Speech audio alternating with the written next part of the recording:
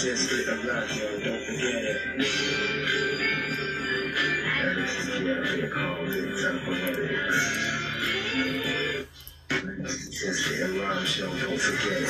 This my currency, elderly, I'm giving you the feeling because you wanna murder me. After you ain't hurting me, me when your feet can hurt me.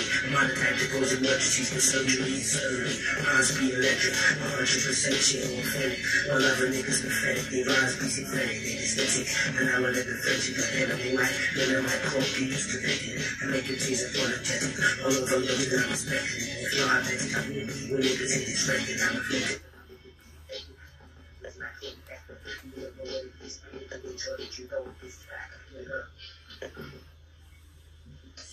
Okay. Hello, everyone. Welcome. Thank you for joining us. We're going to get started um, and we'll just let people in as they come along. Um, my name is Charlotte and I'm one of the co-directors at a company called Lookout and we work with young people and artists, bringing them together, connecting them to work together creatively um, as as artists and mentees and mentors, and we also do a lot of uh, creative workshops in schools and colleges. And I am very happy to welcome Conrad Murray today, who is going to be doing this music industry talk with us. Um, Conrad is a musician, rapper, beatboxer, and theatre maker, um, but I'm not going to tell you too much about him. Hi, Conrad. Yeah, what up? How's it going? We're going to find out all about him.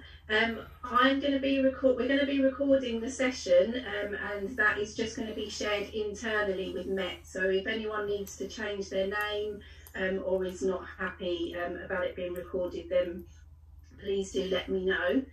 And we would love this to be as interactive as possible. So if you have questions for Conrad, then please do pop them in the chat um, and I'll feed them in throughout the interview. Um, I'll be asking him a bunch of questions, but it'd be great if you can also feed in and ask questions um, as and when you would like to. So I'm just going to start recording and then we'll get started. So, Conrad, um, can you just tell us a little bit about your job, um, what you do, how you describe yourself, and maybe particularly looking at kind of how your work links to the music industry as well. Yeah, yeah. Um, so I'm a I'm a, I'm a, I'm a theatre director mainly, but I work within the realm of music. I also um, a musical director on shows as well. Uh, so I, I make hip hop theatre shows, so which deal with the the music elements, the beats, um, but also the the rap and the lyrics. I main, work mainly with the voice, so get get people to use their voice, so composing, uh, like looping uh, different vocal patterns and, and kind of putting that all together and orchestrating using the voice. The link to the music industry is, well, I guess the music industry is quite a broad term, but I guess you know what we do is is, is shows that encompass music that go that, that, that are performed professionally around the UK, internationally, um, and our, our music's played played on the radio here and abroad. Um, and also we made a film of one of our shows so that, that, that, that music gets broadcasted so all that fits within PRS. So there are kind of many ways that these things fit within the industry as, as opposed for live performance and also recorded live performance and, and, and songs. Um, but yeah, that's kind of like a, a quick overview of, of, of the different things that I do. Yeah, great. So the so the music from the shows that you make, that kind of goes out and is broadcast and shared via like the usual platforms, Spotify, that kind of thing, but also played on the radio. Yeah, yeah. Um, um, um I mean, I guess our ma our main thing is to perform it live, so is to get it out there. The yeah. the, the the the recorded stuff and uh, is just kind of part of the whole parcel, and but I think that that's the same with all musicians. So they earn a lot of their money from the live festivals and the gigs and that uh, and the the sometimes the recordings and the videos are just promo to get you to go along to their gigs. And I guess in some ways it's the same sort of deal, even though there is revenue from recordings, it's that, that's just a part of the whole kind of bigger picture. Yeah, but your kind of heart and passion lies in the live theatre, the live performance. That's what it's about for you mainly. Yeah, yeah, totally, totally. I think for a lot of musicians, it is. It's about the live part, and even, a lot of people don't have that, that chance for a, a while, especially if you're working solo. But once they do start doing live, they realize yo, this is where it's at. Yeah, brilliant. And how did you end up doing what you do? Oh, uh, yeah, lots of different kind of, kind of, kind of uh, accidents and, and luck.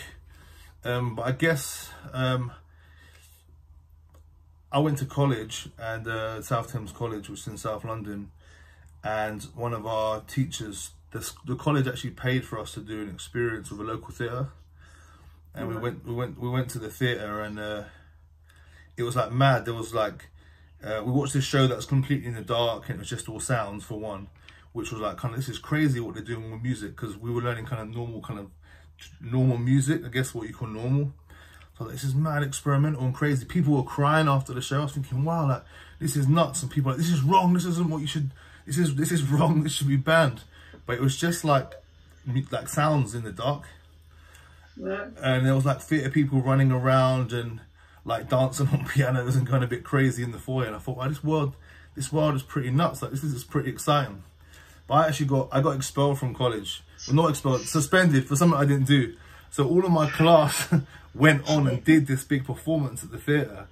Uh, anyway, when I was allowed back to college, I didn't, uh, through no fault of my own, I, um, everyone was like, yo, we did this sick show and it was in a massive, um, like theatre, everyone watched it and it was kind of like, you know, it was quite depressing hearing that everyone did this show.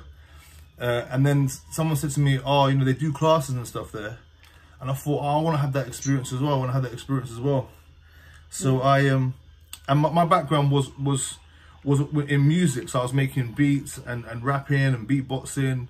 And, you know, I taught myself guitar, really like, I'm really into music.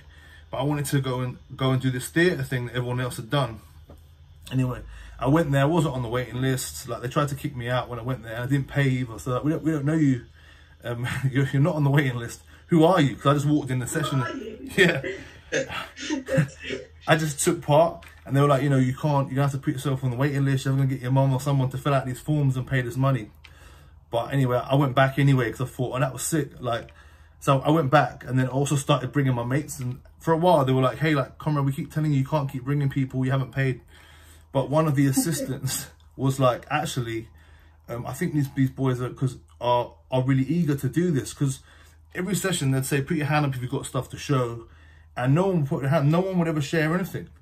And what was great great about the sessions is it was quite mixed. And especially with us, it was really mixed. But a lot of the people were like people that worked in banks, people that had gone to uni and wanted to do some like drama in the evenings or create in the evenings but they wouldn't they wouldn't want to share nothing. They, they were going for they were quite nervous. We, we were eager to go. Like look look look at me, look what we're doing. And then yeah. one of the assistants was like, I think I think we should just let them keep coming back. So I kept I kept going back there, um, and then I started to we, we started to add rapping with theatre and and like merging it all together at, like with music, and we were doing music gigs as well, separately. But we started mixing them with theatrical forms, and then I started my own theatre company there um, which eventually kind of grew to like 10 people. But I was kind of like directing it um, just because we needed a leader, someone, someone to bring it together. Skip some stuff there. Um, and, and then from there, um, BAC were like, hey, would you would you would you be up for like leading something with us with us start like with us and in like 2008 i started the the bac beatbox academy um and that's kind of kind of grown to kind of what it is now. We, we put on professional shows and and I take and I go to other other theatres and venues and take that same sort of practice to other places and put those performances together. But one of the main elements of it is working with people not not who who may be trained, who may may have a music background, but also may not. It's because the idea is that, that most we all like music. We everyone likes music, uh, and it's about putting that together and kind of like taking where people the experience where they're from and merging that all together. Yeah, and I guess your experience that you had that you were saying about going to that theatre company of just being persistent and turning up and being eager, I imagine you took a lot of that and was like, right, I want to make people feel included and you know inclusive in within this group. Can, just for people that might not know, BAC is a venue in London. Yeah, is that right? Yeah, yeah, it's a theatre venue in London. It stands for Battersea Arts Centre, and yeah. um, it's like prides itself on being really experimental, like really experimental, inventing the future of theatre. But I, but I tell you, at first, we would be told off when, when we'd add rapping and beatboxing and stuff to work we were doing. They'd be like, "Can you stop that? Can you stop messing around?" And it was like, "We're not messing around. This is this is our serious work." Um, yeah. and, and, that's kind of one of the things that pushed us to be like, "Hey, we we just need to do this here, but for ourselves, like, because they're not really getting it in their group." Um, but yeah, it's a it's a it's a it's a it's a, a great breeding ground of loads of different artists started at BAC from really experimental artists to people like Harry Hill have started their careers here. Yeah, brilliant. And there's just M um, has just asked a question question in the chat, just asking what you what you did in college. What um, course did you take in college? Oh, um, I took BTEC Performing Arts. Okay, so it was a performing arts course. Yeah, yeah. Okay, great. What What would you say you enjoy most about what you do now? Um, I quite enjoy like the journey that you're able to take people on um, because I'm quite confident in in what I do. So, like when you when you meet people, they obviously want to. You usually they come to a workshop or you're working with a group of people that are there for a reason, or directing them because they want to. They they want to. They're for something. But I guess sometimes they don't really they don't really believe that like this what we're doing today is going to turn out to be this massive theatre show or that they're going to be part of it either rapping or singing or, or writing and I, I, just I get kind of a buzz of of the, seeing the journey from uh, like the start to the end, like pe individual people's journey.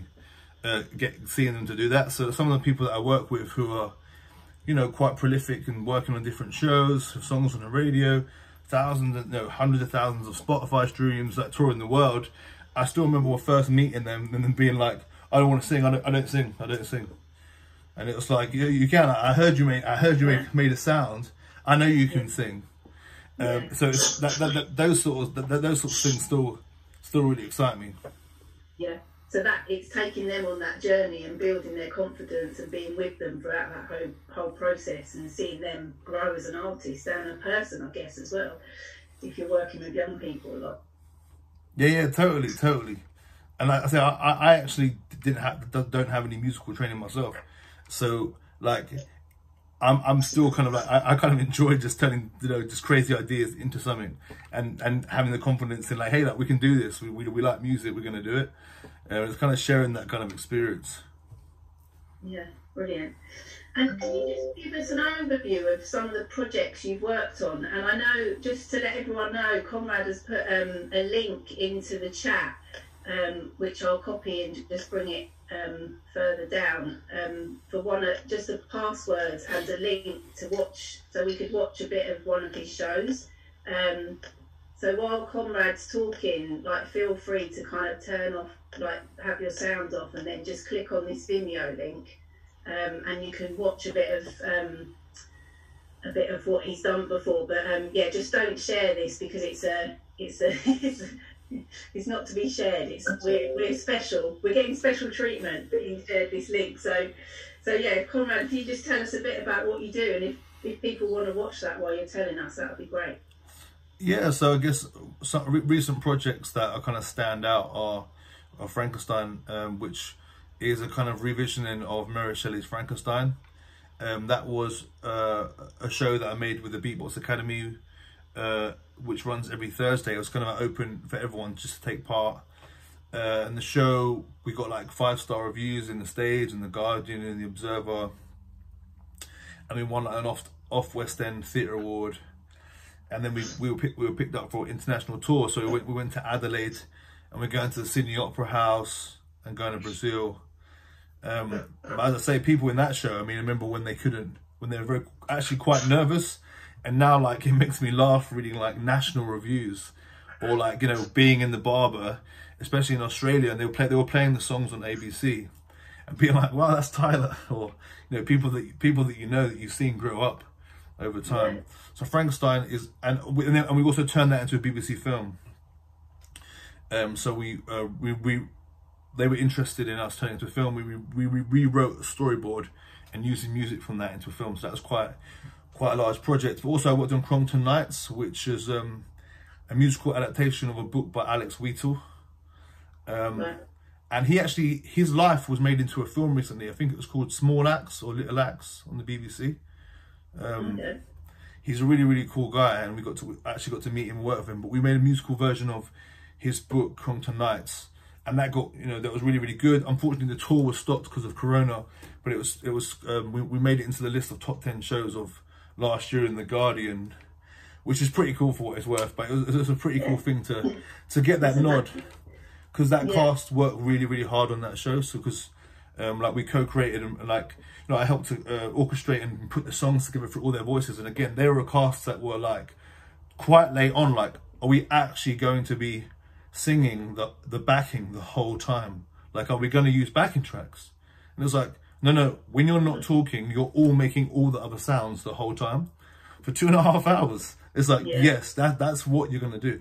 It's impossible. And it's like, you know, I've done this over and over again. Like it's totally possible. We just need to train ourselves to be able to do it and dance and and use the revolving stage. Um, so that was that was um, a really really cool show to be part of. Yes, And that was a, I saw that show at the Theatre Royal in Brighton. It was absolutely brilliant. And is it is there plans for it? I mean, I know no one can tell, but are there plans for it to come back and then it will the tour kind of restart? Do you think? I know the cast are dying to do it. I- I think it depends on because it's very very expensive to tour a show like that to get back into it. So I don't know. I hope so. I mean, I think it'd be a great even online film or something that we could do with it. Yeah, Um, amazing. That'd be Yeah. that'd be that'd be brilliant. And I had um I did a I got a show called High Rise State of Mind that was supposed to be performing at Manchester Home, but because of lockdown it was cancelled. But we but we did a live stream with no audience um of that show. Uh, can't remember when it was now. Lock- Lockdown's made all my dates uh, skewed, yeah, sometime in the past year. but that was pretty cool. We, we developed that show with the CPT, BAC, and the Barbican, and uh, we we and again we, we got great reviews on the stage and blah blah blah. And I kind of feel like it kind of turned lockdown into a positive because you know we were able to still do it and like and put the show on. Um, yeah. and then we're working on a new show called based on the Pied Piper uh, of Hamelin. Okay. Yeah. So we're, we're re kind of telling that that's going to be a beat a hip hop show for kids. Amazing, brilliant. And what do you um? So you kind of talked about the like the young people you work with, but how do you link up with other people in your industry? So have you got any kind of tips on how to approach people or how to network and collaborate with people within the music industry or within the theatre, like live performance industry? Yeah, I think it, um, it's about going out. So I think that a lot of people think that going online and uh, is going to be the number one way, but that's not that's not the best way. You have to have quite a lot of con- of real world success and contacts for online to start working. Uh, because Right. online is this is this a load of nothing? Because anyone can pay for PR online. But when you have real world like relationships, it's about those actual relationships you see in people. It's worth a lot more. So I would say any group, any music groups you can go to, any art groups, performance groups, you should go and meet the people there. The people running them are often seasoned performers or people that have some sort of contacts. Yeah. Um, you know, I know that I know a lot of DJs and producers who would go to loads of clubs, loads of things all the time, and they would be knackered. But the reason why they go would be so they could chat to the other DJs who are often producers as well to be like, or like, what are you doing, or or, or actually play them tunes, play them stuff, and be like, can you play this? Um, I think that go, going out, like you know, the people used to hang out, hang around record shops to try and get like their their stuff um, sold in there. And I feel like th- that's still quite valid. It's about to go, go into you know you're not you're not necessarily going to go to HMV or whatever, but you need. I feel like you need to go to places and meet people. And I think that a lot of people think go to a club or go to a group, it's not going to work. But it's about the one those other young people or or all the people attending are going to be your peers, and about the people the people running have got contacts. So, like I was running a, a, a group um, in Peckham, and at the same time I was contacted by by McDonald's to put something together, an advert for McDonald's. Uh, so I, so um, three, uh, the, the, the all the people that I wanted from the Beatbox Academy didn't want to do it because they were against were doing something for McDonald's. Felt fine, but the other group that, that I'd just been working with was like, hey, like who wants to do something for McDonald's? And it was like, wow, like that's amazing. Um, Oh, And- sure, so they, they, were, they were in an advert, but they wouldn't have. It's about kind of making those, not only making those connections, but positive connection as well, because you remember if people have, have gone attitude or rude. I think if you're really good at something and you're sick, no one cares if you're rude. And I think that sometimes people think like, I'm so good, like I can do what I want. It's like, no, no, no, no one cares. No, you're not, no one cares if you're rude. Doesn't matter what artist, rapper, hip hop, trap artist, rare, rare. If in their videos they're arrogant, you see them behind closed doors in those meetings and they are polite and they're saying, yes, sir, no, sir, free bags full, sir. You know, before, before I worked uh, in like, like, you know, main, main I, I work mainly in the theatre industry now, but I used to work like, I used to, I, I was signed to a major label, Polydor Records. I had other publishing deals and worked in the record industry.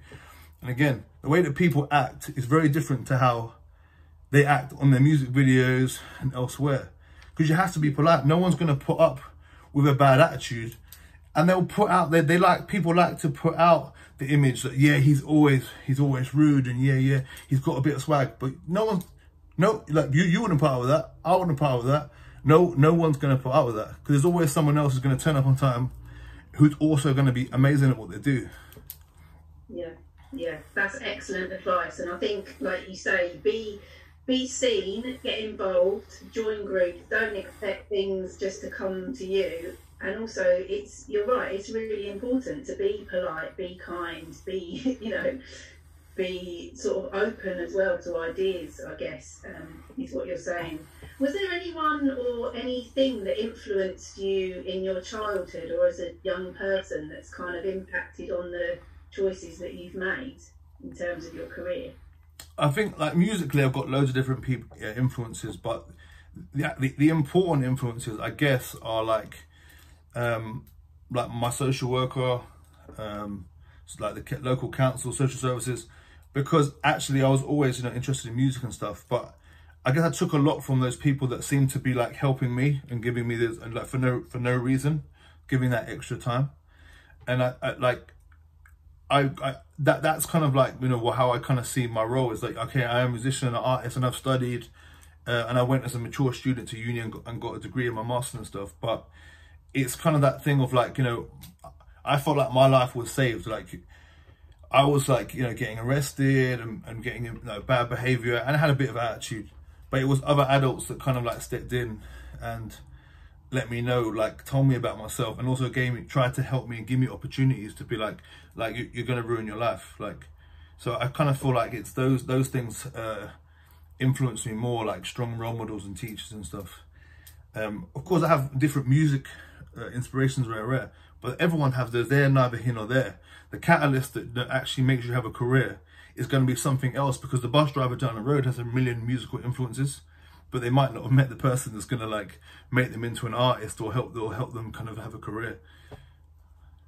Mm, yeah, brilliant. Um, just going back, there's just um, a little comment in the chat, which is which I think is what you were saying is that um, you know about being rude and it's it's a character. You know, like musicians and artists, you know, they they build a character and they're not necessarily rude in real life. That's not what we're saying. We're saying that they yeah that's absolutely it. They might have this persona and character of, of coming across like that, but then in person, behind closed doors, they're uh, yeah, they're not they're not that rude. They're all right. Yeah. Um, can you just tell us a little bit about sort of your pathway into this job, into well, into what you do now? You've spoken a bit about college, but was there did you kind of do any sort of internships, work experience, or was it that you joined these groups and that was sort of you know the catalyst and the, the building blocks for what you do now? Well, I guess whilst uh, doing the youth theatre at BAC, um, I, they put me on different. So I did different like schemes and stuff. So like I was where I would get to um, shadow different members of staff, um, okay. and I, I guess like it was about being I was because I was such an eager beaver, always hanging around the building that I was chosen to do those things. So I was quite lucky but like I got, to, but like so I did some schemes, blah blah. But then whilst, as I said, I, I went to uni as a mature student, so then I went like I, I didn't even know what uni was when I was at, when I was at college. I'd never heard of it. I never met anyone that went to uni. Um, I, I mean, I, I knew that there was some distant cousin or someone that had gone to uni, and that was more of a, a negative thing in my family. Like, oh, well, he went to uni, and it was like, what's that? You know I mean? So like, being at BAC kind of made, exposed me to people it seemed like the people that had jobs or like were reading books or seemed like you know they I know now uni isn't the be all and end all But if you're from a particular background, I grew up on a council estate where my dad was in jail, blah, blah, actually uni is going to help you quite a lot because you don't have any of that knowledge, any kind of a world view. My parents didn't didn't read any books. I've never ever never had any books in my house. But someone like me, I needed I needed to go to university. Um, I think it's easy to, to disregard it if you grew up in a very cultured lifestyle. Maybe you, maybe you had holidays, holidays abroad. Your parents read, blah blah. Maybe possibly you don't need to go. But I think for some people, it's like a you completely see a completely different scope of, of the way you look at your own life. Um, like I, did, I, I didn't know that I lived in social housing. I didn't know that certain things, that, that was just normal life to me. I didn't realize that there was, wow, like, I know it sounds ignorant, but I know loads of other people that currently don't really see, see the world outside of the world that they live and see the pathways into other different worlds and careers. So like, it was being parts of groups that let, let me know about different other groups and gave me those other bits of knowledge. Because I always, now looking back, and kind of at the time, I always felt like I was a few years behind, a few steps behind. Because you're always kind of catching up because, you know, I didn't have, you know, my mum wasn't necessarily going to help with a UCAS form or mention mention any of these things. Like, if anything, they were confusing to my parents. It's like, you're getting on our nerves. Like, what are you talking about? Like, you know, so it was it was doing that it was doing that and then going and having the support of Battersea Arts Centre still because I was still able to put on work and and that's through relationships over time. Amazing, and it it just that really highlights the importance of these venues and organisations and youth organisations that are you know there can be the other support for you you know if you haven't got that support at home or like you say you haven't got those influences and what did you study at uni when you went as a mature student? Uh, drama. The drama. Yeah. Yeah, yeah and I, I was um, Amazing. I was actually signed to to and to a, to a record label at the time, a major label, and my manager said to me that um, it wasn't good for my image. It wasn't. It's not going to be good for your image to do drama at uni, and we're trying to put you yeah. out as a sex symbol. Blah blah blah um, like you shouldn't like you shouldn't do this and it was like right. I, knew, I, knew, I knew what he was saying but it was like is this something that I, I needed to do for myself something that I wanted to do um, so yeah. basically I had to kind of make that choice um, and I don't I don't I don't regret it I, I mean you miss some of the money and stuff but um, at that time but it was one of those life choices you just have to make because I wanted to I wanted to learn some stuff so was that when you stopped? Was that when you were not no longer part of the record label? When you went to uni, you had to make that choice. Yeah, pretty much. Yeah, pretty much. Um, but and I, and I realized the music music industry is, is a kind of a strange term because if you're a musician, you can do music everywhere. You can in many many different ways. You can make music for television. You can make music for the local pub. You can put it in films. You don't have to be part of that one kind of factory and actually it was very limited the things that they wanted me to say and do. Um, it works for some people, it's great, but it doesn't work for people that want to go off to union and thinks about merging it with theatre and stuff. It's it's not that's not what they want to hear. Yeah. No. Okay. But yeah, but you had your you had an insight and your time and experience in that world and also that was probably a good thing that you realised this is not for me, I need to do other things and open up my horizon. So can you, um, if you're comfortable with this, can you just tell us a little bit about who pays you? Are you freelance? Are you a limited company? Can you just tell us a bit about your experience of kind of having to deal with that side of things as well? Yeah, yeah, sure. Um, I'm freelance, so I get paid by different organisations that I work for, um, but I also get funding. So whether it be Arts Council funding or from different pots of money. I'll get funding. When we go on tour and stuff, it will be like um, from the money they give to the whole tour is kind of divvied up. Um, right.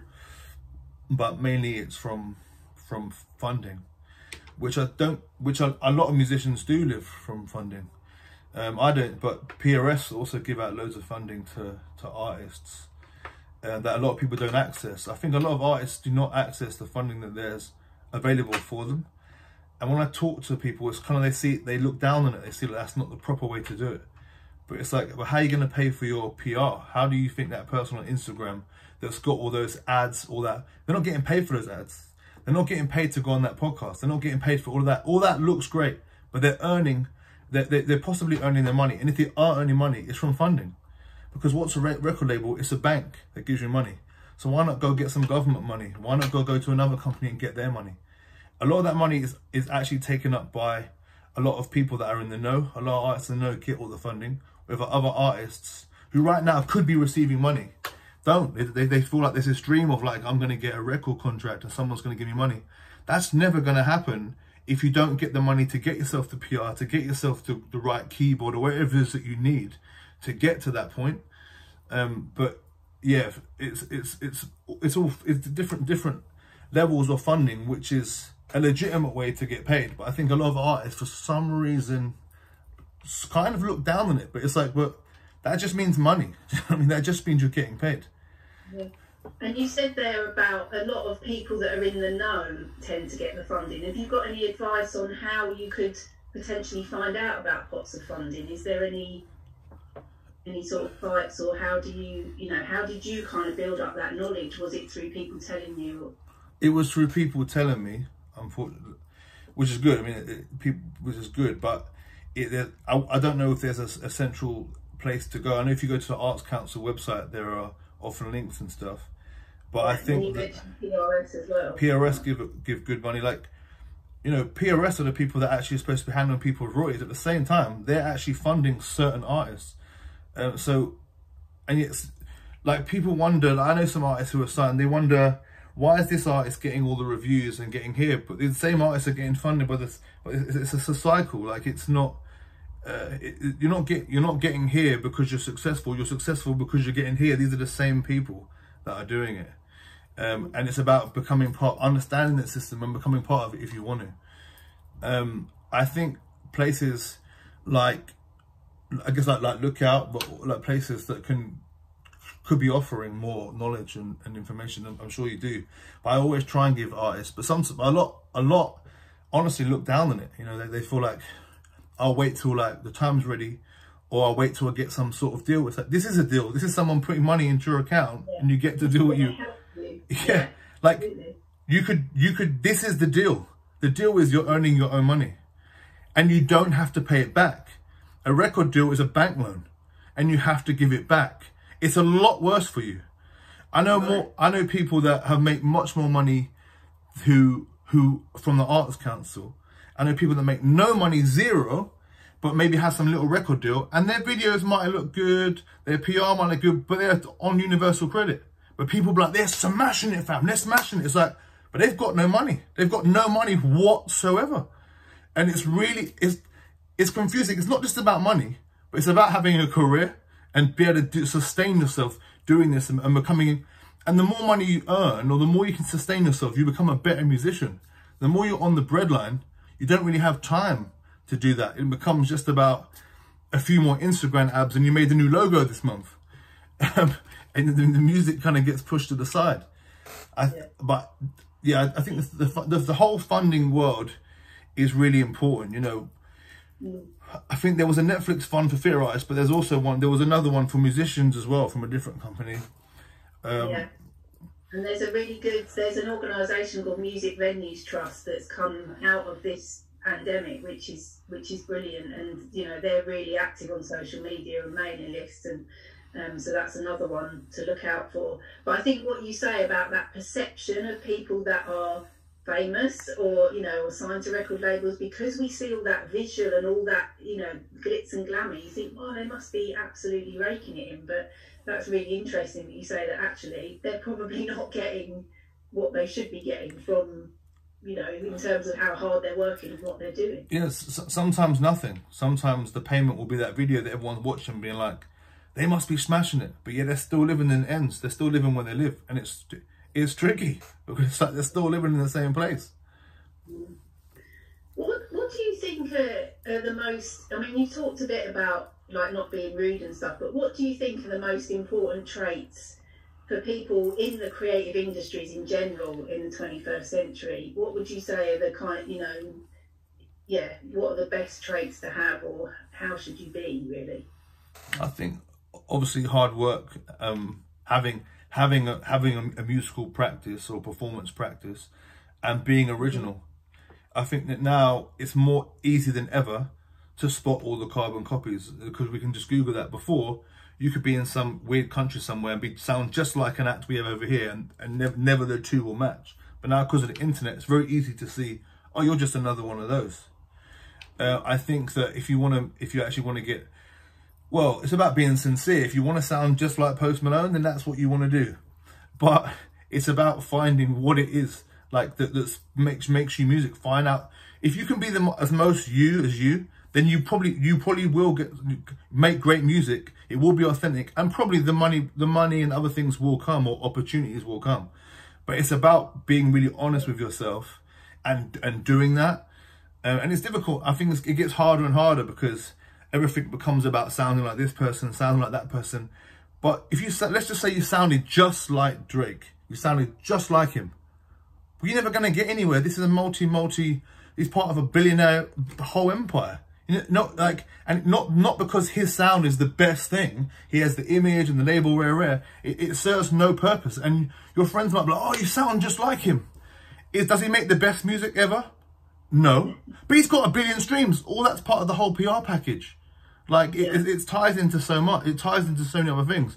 If you adjust yourself and everyone knows, oh, that's what so-and-so does. And that's what his music is you'll find yourself being part of having a gig as part of a, of a band, being asked to do work for a TV show, getting sets, making your own album, someone wanting to fund your project because you you are 100% you of you like you are doing your thing. I think that that's it's the the authentic thing, and right now it's hard, is the most important thing. Um, because now there's so much tutorial. Yeah, Drake does everyone. It's true. There's so much tutorials online about, you know, how to hustle and how to be an artist. Everyone watches the same videos. So everyone, everyone, a, co a copy of a copy of a copy. It's about saying to yourself, leaning into the weird, leaning into what, what, what actually, the things that I'm not doing in this video, maybe they're right, probably are right. Probably they're the things that I should be doing.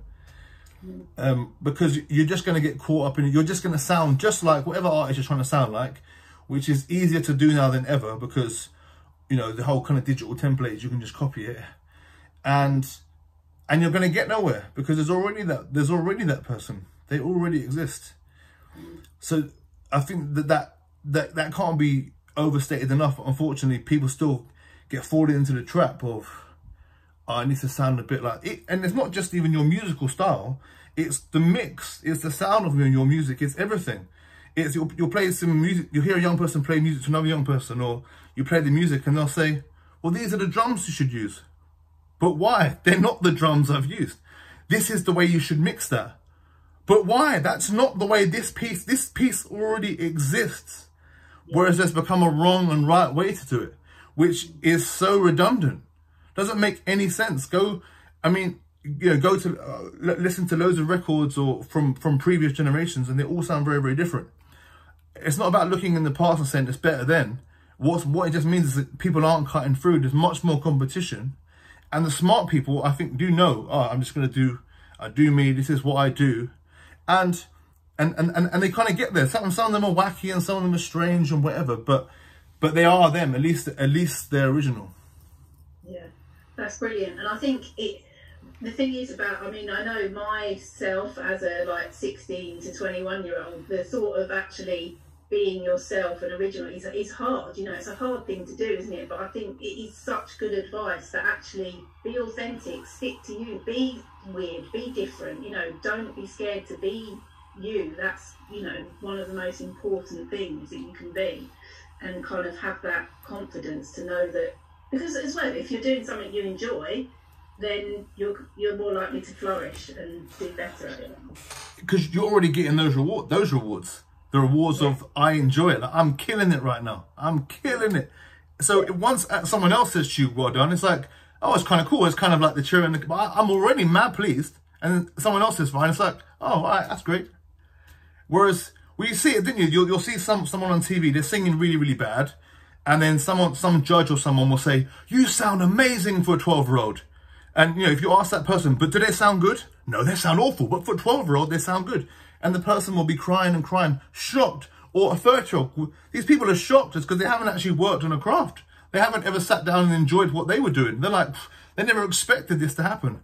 Whereas a lot of artists, it's kind of cool, but you don't necessarily have to have that validation. It's just part, you know, it's, it's, it's great. It's great for marketing, but you don't, you don't necessarily need it because it's like, I, I know, I know what I do is good. Yeah. Yeah. Brilliant. Have you got any um, survival tips and tricks that you could share? So, kind of like things that you wish you'd known then that you know now, you know, that kind of thing. Um, funding, apply for funding. I would have applied a lot younger because people had told me that before. Mm. Um,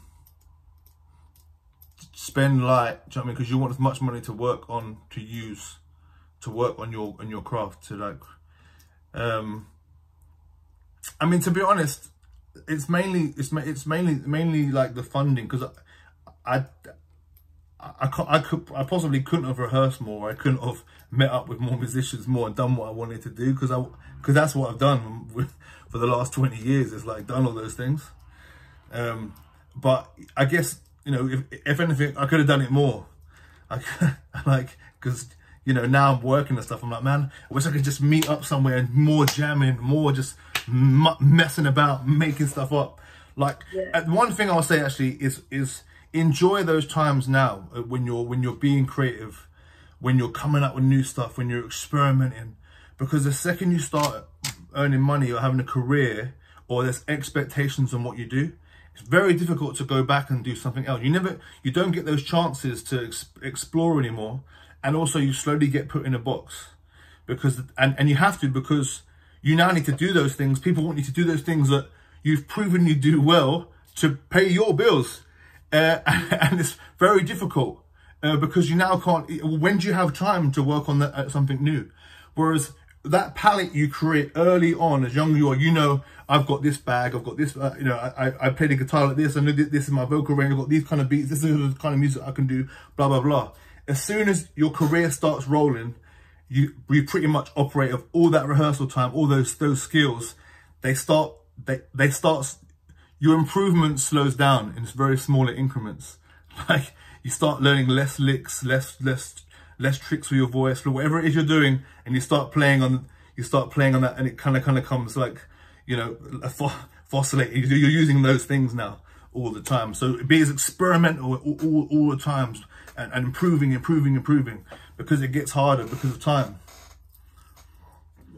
Great advice, really good, thank you. Um, Mike's just said, put a comment in saying that the film looks amazing um, and has just asked, are these performers um, actors who train to make these sounds or are they singers, rappers who train to act? Because, you know, there might be people here that are thinking that they'd like to add that other dimension to their work. Um, so none of them, um, they were all original, originally coming just to make make funny sounds, so to, to beatbox and do other kind of sounds. And then over over time, we help to improve their performance styles. And now since since then, or since we've done the show, some of them, one of them has gone to drama school and kind of like wanting wanting to learn more about acting and stuff. But they're actually all vocal vocal artists, um, main like mainly. Yeah, and these are young people that worked with you through BAC Beatbox Academy. They came through there, did they? Yeah, yeah. So like a, a couple of them I've known for 12 and 13 years since they were like really, really young. Um, so yeah, it's funny because we got on tour and like all these people asking for autographs or whatever, whatever. And it's like, you know, we're the same. I still, you still feel like you're the same. You're the same people. Do you know what I mean? It's like this is funny, isn't it? Like I remember your mum dropping you off after school. Like this is a bit, this is a bit mad. How was the experience in Australia? Like that must have been because it was quite close to when COVID was starting. Is that right? Yeah, yeah, it was. It was right down to the wire, but it was alright because everyone had bought their tickets and wanted to do the festival. I mean, I'd heard that their numbers were down, but we we wouldn't know it because our, our, show had um, it sold out very early on, so it was great. And we, we whilst we were there, we um we were we had loads of TV spots and loads of after we do the gigs, we were off like our show the, the show. We were then offered mm. loads of other evening gigs, so we just go off and do other gigs, and it was kind of it was wild, and they treat us treat us really really really good. It was great, yeah. I mean, how they they? Did you prepare any of them for these TV interviews or anything? You know, or did you just kind of go give them a bit of advice, or were they like cool with that? You know, were they like, okay, this is this is my moment. You know, I'm going to just go with this. Good, good question actually, because sometimes they haven't got they haven't gone as well actually as we wanted. So possibly there could have been a bit more preparation into that. Right. Um, because I would, I kind of like to just say it's, it's certain people do an interview, but then when it comes down to it, other ones, I want to do the interview, and it's like, oh, okay, and then it kind of it spiraled into quite a strange, strange place, and it's like, actually, oh yeah, haven't really thought about why would you know how to give an interview? Why would you know how to, how to s sell this in the way that we need it sold? Like, which Yeah. sounds quite cold, but like that's why we're doing the interview basically, is to get people interested in what we do. Yeah. And although we're sold out, you want to sell the work because now we're going back to Sydney Opera House. We're going back to Australia to do another tour. So you want to, but yeah, you're, it's a good question. Uh, uh, basically, it's, it's very hard to, when things are happening so organically to kind of like prepare everyone for every scenario. But it's interesting, isn't it? Because I think in the creative industries, there's so many different things that you need to learn or be, you know, from the kind of freelancing accounts to like interviews to selling yourself. It's it's a really multi-layered industry, I think, and um, you know, it's like you said before. It's really important to just take opportunities when you can and listen to advice. And if someone says to you, "Oh, you know, I've got um, I'm great at Excel. Do you want to spend an hour an hour with me? Do you know? Just take those opportunities because there are a lot of different layers that you need to know about. A lot of yeah, I mean like like Excel and like doing your ta- doing your taxes and all the other yeah. stuff and like sometimes the people in the show you know will get angry like it's something i'm putting on them it's like no the government's doing this it has nothing to do with us like you're gonna need to do this um and that's kind of all, all that's part of just learning i guess i guess like we all eventually come to that realization of oh wow there's all these different all these different things that we're gonna have to handle and it gets it gets harder Yeah. Brilliant, amazing, thank you. We have got just 10 minutes left, so I really want to give people an opportunity to ask any questions. Um, so if you've got any questions for Conrad, then please either raise your hand and feel free to come on and um, ask away, or pop um, some questions in the chat, um, or anything you've, if you've had a little look at the Frankenstein link, anything you kind of want to say about that or ask. Um, would be great. I'll just give people a minute or so to see if they want to ask anything. yeah feel free to ask anything like i don't really mind you know what I mean? This is the thing we've got. You know, we've got Conrad here who's got many, many years of experience behind him, and up for asking, well, up for answering anything you want to know. So, um, if not Conrad, we might have to have a little beatboxing session. I, I, I know you've got some skills, Charlotte. So do you know what I mean? We can. No, have- I haven't. We can well, you know, I did. Yeah, I've, I've been lucky enough to do a bit of beatboxing with Conrad, and uh, he's a very good teacher. Well, Mike, Mike wants to know more about beatboxing. So, um, battle. I'd like to know more about beatboxing. Battle. Um, yeah. So, tell us a bit more about your beatboxing, Conrad, and how that all came about. There's actually another question here about have you have you ever had to stop working with someone because of their Oh, yeah. attitude? Yes, good question, Em.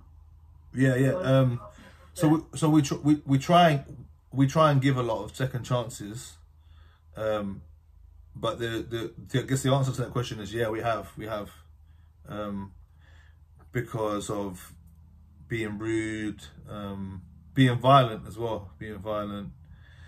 Um, so in Frankenstein, we've had like three or four people play the same part, um, and I think the the reason why is loads of people got reasons why, but I know why. It's because that role is specifically everyone in the show has to be able to beatbox, has to kind of be able to hum and stuff, but everyone has the main main strengths, um, and that role the person has to rap. So we've always we've picked people that that, that rap. They're gonna need to be a to rap first. But the tru- but the trouble is, not everyone who's just a rapper is gonna be ready for the sort of pressure that it is when you're having to rehearse a show like this and deal with like you know rehearsal times, show times, and all those other things. And it can and it can make it's made a few of them kind of go off the edge because it's okay to like write bars and speak them to your mates and blah, blah, blah, but having to rehearse them over and over again with other people who maybe maybe they make a mistake, maybe it might have got out of time when we've got to start again. Um, they get very very frustrated. So we try and give we try and give like second chance. It depends, isn't it? Some people shouldn't. You know that they should know better. I know it sounds bad, but you're like, um, like I don't expect you to act like this. Some people, you know, you you learn about people over the years, and you understand. You know, someone's like recently been made homeless or something, and they come into rehearsal. Maybe they're going to be a bit pissed off, and you maybe give them a second chance. But um, it, it depends on it. Like viol- certain types of violence and other things you have to, unfortunately, you have to say, uh, well, not unfortunately, you just have to say no to for the rest of the cast uh, and everyone else. So um, it's quite a rare thing, but with that show, and I think because of the pressure of it, we had to. Yeah. Which must be hard because those people will have seen the show go on and be very successful. Yeah, but hopefully, you know, again, they would have learned something from that experience, definitely. And, you know, the next things they would have gone to, they'll take that with them. Oh, yeah, 100%, 100%, 100%, I hope so. I really hope so. Because I liked all of them. That's why they were in the show. But it was just, yeah, yeah, too much. Yeah.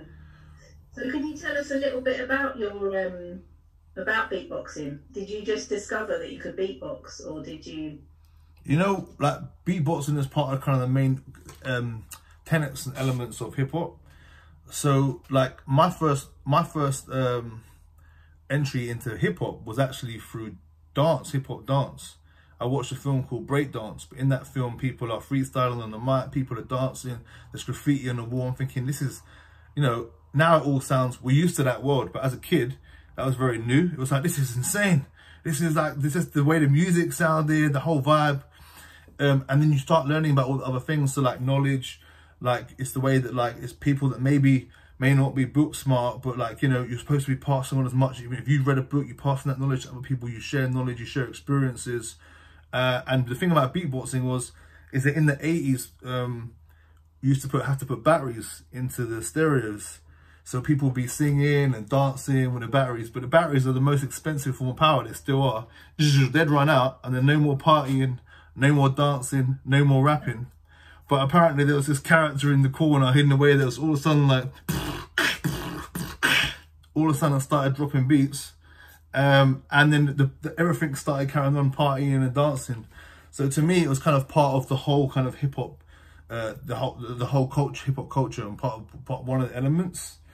Um, so because like rapping was also really important to me, um, and I realized that it'd be great to fuse beatboxing and rapping and the elements of hip hop with theatre to kind of create like a much more of a performance as opposed to like an isolated element because people would isolate the different things of hip hop whereas all of it is supposed to really come together uh, and, and use it in combination.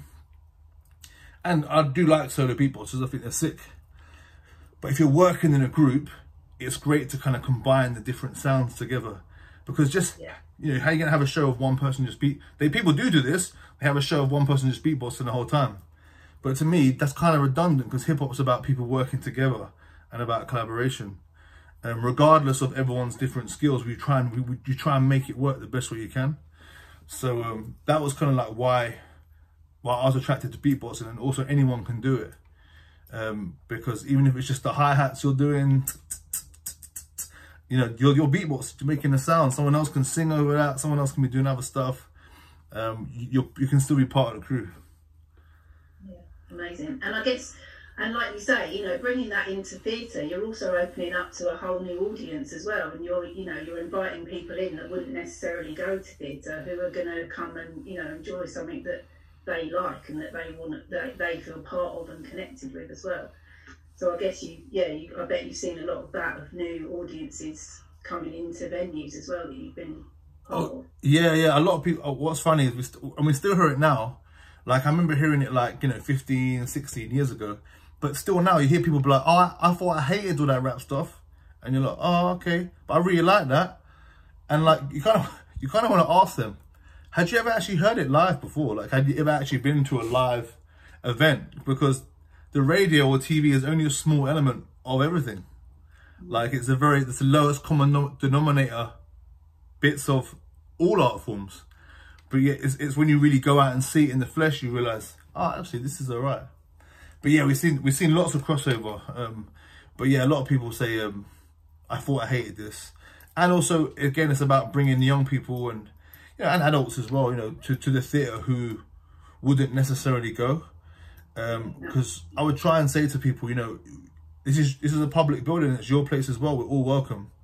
And people are just distrusting of like establishment, public buildings, wherever they don't want to go there, like they have no relationship or reason to go there. And it's a great way to bring these different things together. To me, it's not like, um, we don't want to silo it off to be like, this is the thing that the ethnic minorities in in Battersea Arts Centre do. It's for everyone. That That's yeah. what it's supposed to be. Um, and a lot of theatres, unfortunately, uh, a lot of their stuff they do is very much siloed into different demographics. Whereas I don't, there's nothing about hip hop that's supposed to be actually be there. Mm. Amazing, brilliant. Thank you, Conrad. So there's no more um, there's no more questions coming in. So unless anyone has a burning question, I think we're going to have to stop them because we've got one minute left. Um, and I know that Donna um, from GB Met just needs to tell you a little bit about um, the evaluation. But I just want to say a massive thank you to Conrad. That was really brilliant and um, yeah, open, and you gave some great advice and yeah, really interesting to hear about what you do. So thank you very much. No, thank you. Thanks for listening, guys. Hopefully that was helpful and informative. Yeah, cheers, cheers, Mike. And um, I'll pass you over to Donna. Thanks, Donna. Um, I just want to say thank you to Conrad as well, um, and for you all for coming along. Um, I think most of you have been to the previous weeks as well, so I'll be sending you through the evaluation. Um, uh, and if you join us next week, we have got um, someone, a, a BBC Radio um, producer will be joining us, so you can find out from him. So I'll send that through uh, by email tonight. Great, thank you everyone.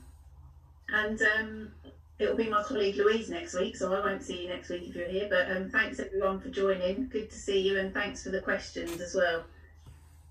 And we'll see you again soon.